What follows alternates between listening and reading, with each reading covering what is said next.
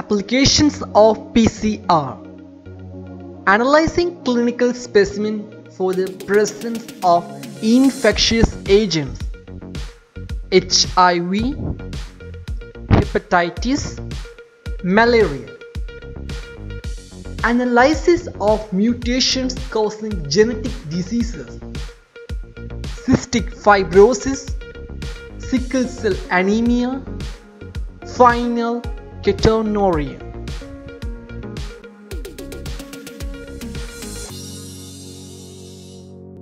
Used in forensics.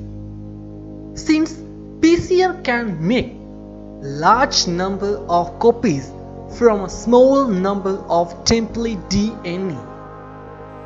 It is especially useful because only a tiny amount of original DNA is required. Example, droplet of blood or single hair.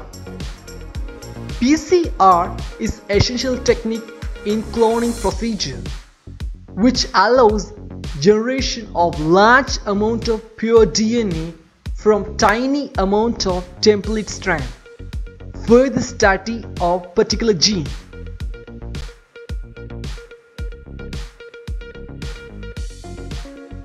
Sequencing of DNA depends on PCR.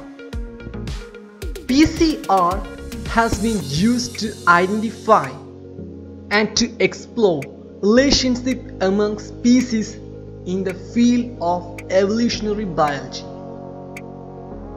In anthropology, it is also used to understand the ancient human migration patterns. In archaeology, it has been used to spot the ancient human race.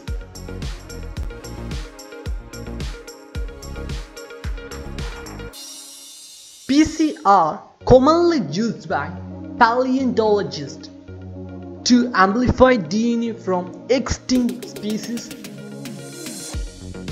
cryopreserved fossils of millions of years old can thus be further studied to elucidate on the evolutionary relationships